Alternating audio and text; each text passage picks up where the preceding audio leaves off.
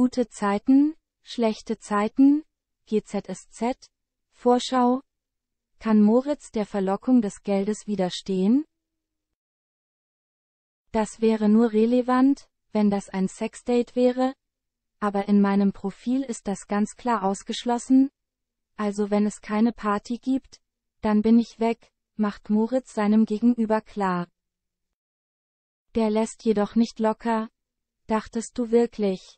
Ich zahl dir 800 dafür, dass du auf Näher Party rumstehst? Lässt er seine eigentliche Absicht durchblicken? Okay. Weil du cute bist? Wie viel? 1000? 1,5? Setzt der Kunde Moritz weiter unter Druck und wedelt mit Geldscheinen vor seiner Nase herum. Doch Ritze lässt sich davon nicht beeindrucken. Welchen Teil von Nein verstehst du nicht? fragt er empört. Das ganze Konstrukt, antwortet sein Auftraggeber, der augenscheinlich glaubt, mit Geld alles kaufen zu können.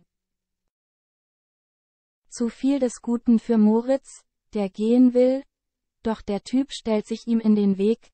Ach komm, erspar uns das.